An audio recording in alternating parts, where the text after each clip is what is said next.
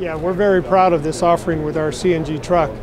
What makes us unique is that listening to our customers, listening to their needs, listening to their wants, we are the only OEM, the only manufacturer that delivers and manufactures a CNG truck that's manufactured by us in our plants.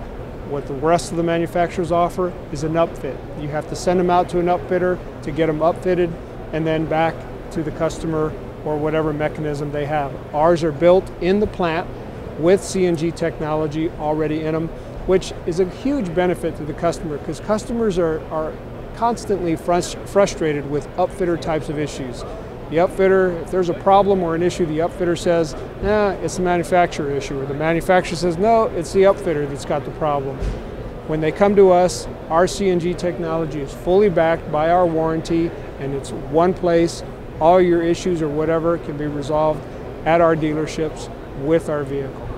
Are there advantages to having a factory upfit in terms of your safety standards and your quality standards versus sending out to a upfitter?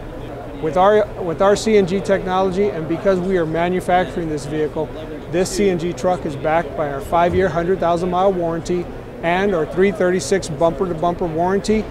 All the componentry in there that drives the CNG aspect of this truck are covered fully by this three-year, 36,000 bumper-to-bumper warranty, so a customer has nothing to worry about.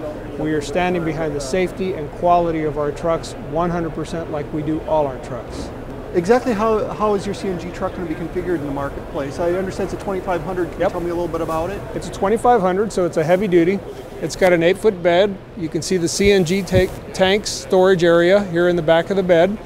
It's a crew cab and it's a 4x4.